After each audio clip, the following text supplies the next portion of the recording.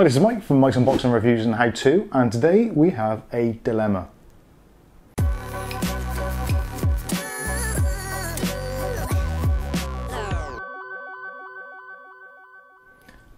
Okay, so today we've got a, uh, a dilemma, and we're building a budget PC, and at the moment it's August 2018.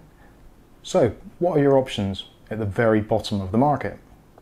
Well, AMD side, we've got the Ryzen 2200G quad core processor, four threads, 3.5 gigahertz, 3.7 gigahertz turbo, overclockable, unlocked, will possibly get to 3.9. Built-in graphics, Vega 8, strong graphics, possibly no need for a separate graphics card. If you're building a budget PC, this seems to be the obvious choice. And at around about £100 or near around $100, pretty good price for both a graphics card and a CPU. Now when you pair it with a motherboard, such as the B350, which you will need a B350 to take advantage of the overclocking features, um, you're going to be looking in the region of about £60 for a, a, relatively good board. Uh, you obviously can spend more than that, but if you're looking at a budget, you're looking at £100 for the CPU, or £90 thereabouts, plus another £60 for the motherboard. So for argument's sake, we'll say 160 now, Intel have thrown a spanner into the mix with this, the Pentium Gold. So this is the G5400, a dual core, four thread CPU running at 3.7 gigahertz. So very similar clock speeds to the Ryzen 2200G.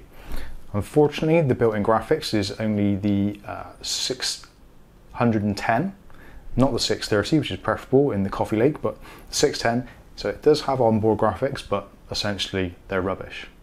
They're fine for creating emails, going on the internet, watching videos, and some extremely light gaming, very, very low resolution, very low texture sizes. Uh, nowhere near as good as the Vega 8 in the Ryzen. But the offset, £50 in the UK. So almost half the price of the 2200G. Now, take into account this processor is frequency locked, virtually no overclocking possible at all, apart from maybe a little bit of B clock, so maybe 1 or 2%, but nowhere near the overclocking ability of the Ryzen 2200G. So, motherboard wise, you are limited, if you're on a budget, to the H310 chipset realistically. So, this board, the ASRock, this is the uh, H310M HDV-M.2, retails around about £50. So we're looking at a motherboard and processor combo, £100 against processor on its own, £100.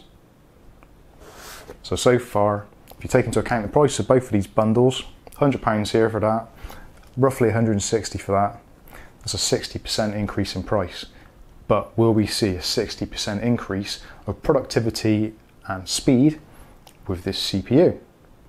I would say it's very unlikely in looking at the benchmarks that I've done previously and looking at benchmarks from other YouTubers, which I'll uh, put some links to so you can check them out for yourself because I'm not going to go to benchmarks in this video. But on an average, a little bit faster.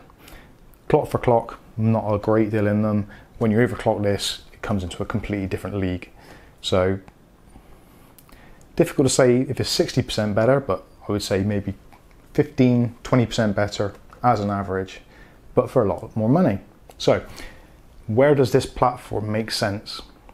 Now, this platform makes sense if you've already got a graphics card.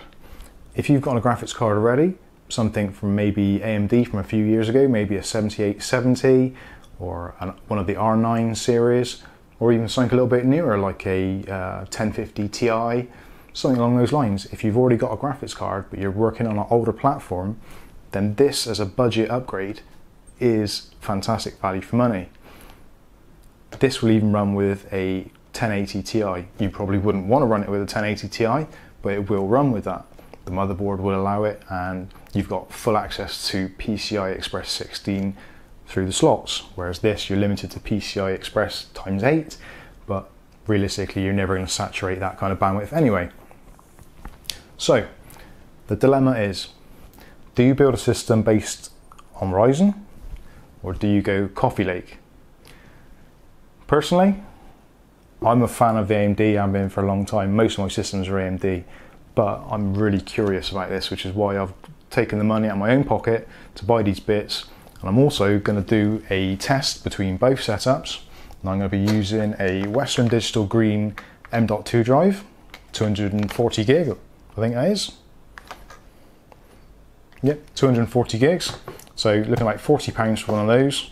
And I'm also going to pair it with this, the Zotac GTX 1050 Ti, which will give both of them a, probably a good run for their money.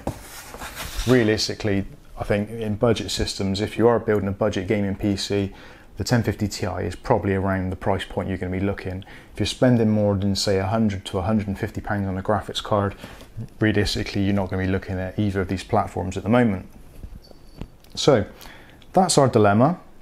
I don't know which one's going to be better. Uh, if you want to put some stuff in the comments section below, let me know which you think is going to be better. And uh, I'm going to build this up in an upcoming video, so stay subscribed, click on the chime icon, you'll be notified when there's a new video and you can see the build in action. Uh, but in the meantime, I've been Mike, this is Mike's Unboxing Reviews and How To, and this has been my dilemma. Thanks for watching.